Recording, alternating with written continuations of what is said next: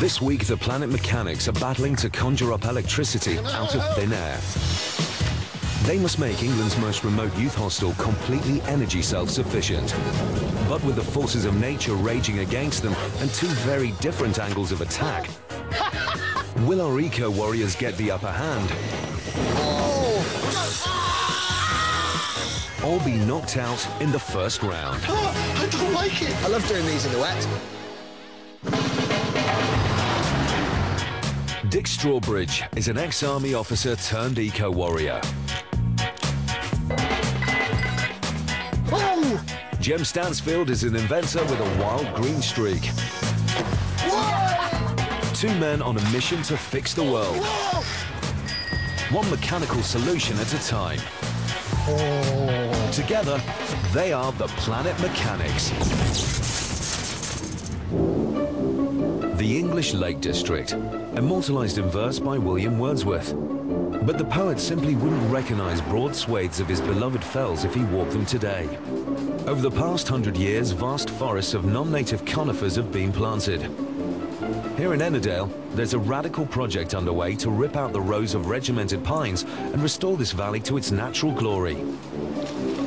Lovers of the lakes are delighted, but there is one unfortunate casualty. England's most isolated youth hostel relies on this rundown forestry road to bring in all its power supplies.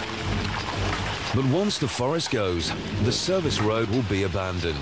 And to survive, Blacksail Hostel must generate its own power.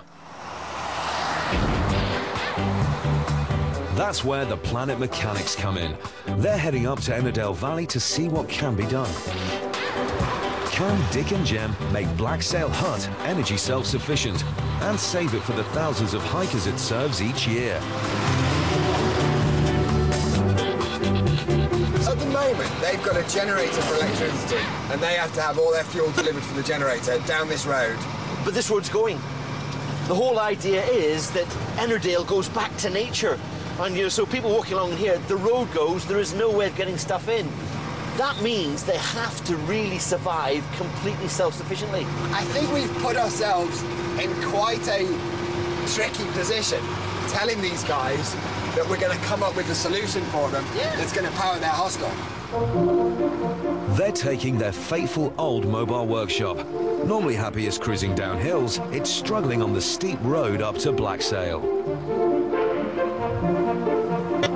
After steadily climbing the 6.4 kilometers along the already deteriorating forestry road, Dick and Jem finally get their first glimpse of the hostel. This is remote, mate.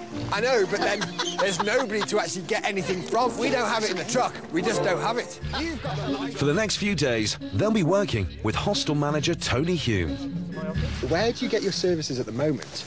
Like water, electricity, gas? Right, the water is here. We have water supply. But everything else has to be brought in uh, on the forest road. And if the road stops being maintained, it could get washed away any time, couldn't Tomorrow. it? Tomorrow. it is that serious. Well, you know, we get heavy rain, it could wash out the gully. so what happens to the youth hostel? No power at all, no cooking facility, no heating, and the question has to be asked whether you have a hostel here at all. What happens to your job if this goes? Um, my job would change. See, my empathy for walkers is one thing, but for people's jobs, I am bothered. I like you.